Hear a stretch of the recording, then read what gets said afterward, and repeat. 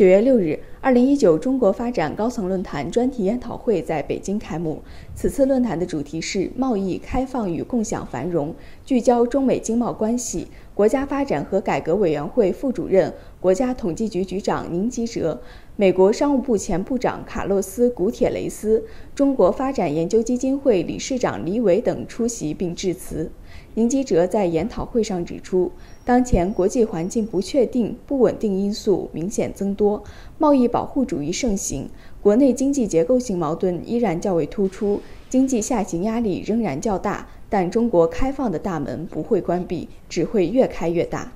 从一个一穷二白的农业国，发展成为世界第二大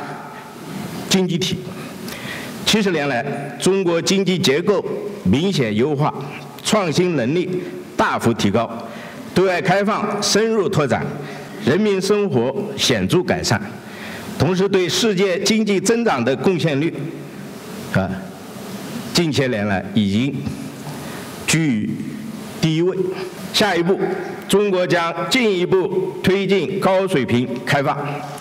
发展高层更高层次的开放型经济。以开放促改革促发展，推动形成全面开放新格局。美国商务部前部长卡洛斯·古铁雷斯指出，中国已成为世界上最大的贸易国和最大的投资目的地之一。中国对全球投资流动的贡献也越来越大，但受中美贸易摩擦的影响二零一八年全球外国直接投资下降了百分之十九全球投资者的信心正在降低。他认为，两国官员应多交流对话，创造一个更可预测的投资环境，有助于推动全球经济增长。We must urge our two governments to get back to the negotiating table as quickly as possible.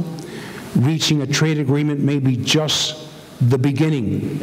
of the process of restoring trust. But it is a crucial step. Despite its many challenges, The U.S.-China trade relationship has been vitally beneficial to both of our countries and to the world, and it deserves our active support.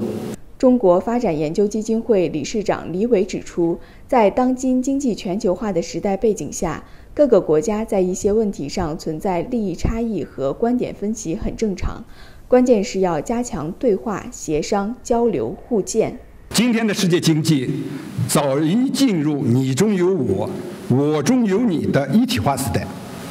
经济全球化的时代潮流不可逆转，只会不断深化。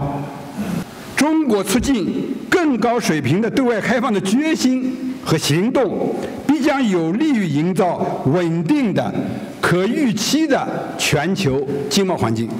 本次二零一九中国发展高层论坛专题研讨会于九月六日至七日在北京钓鱼台国宾馆召开。会议由国务院发展研究中心指导，中国发展研究基金会主办，邀请了众多中外企业家、知名学者参加。